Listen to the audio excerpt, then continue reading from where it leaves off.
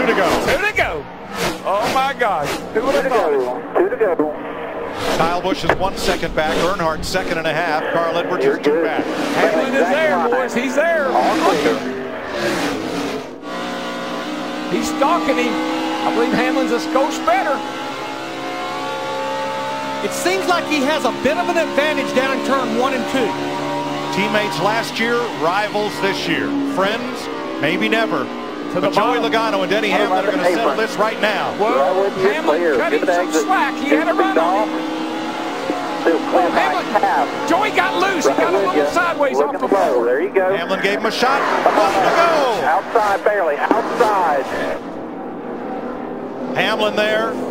Logano to the bottom, trying to hold his ground. Bot's running the second lane, trying to get some he's been running momentum going. If he can just clear Hamlin right there. No way. He's going to lose his momentum. They're going to touch hard. Are they going to make it?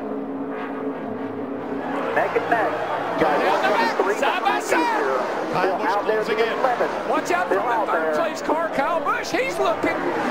Who's gonna win it back to the line? Tyler Bot's to the inside. Carboni spins. Bot spins. Oh my goodness!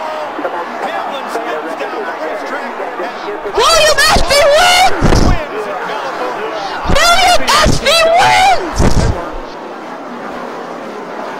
Oh, my Head goodness. on. I don't like the looks of that. Hard hit to the inside wall for Hamlin. A bounce off the outside wall for Logano.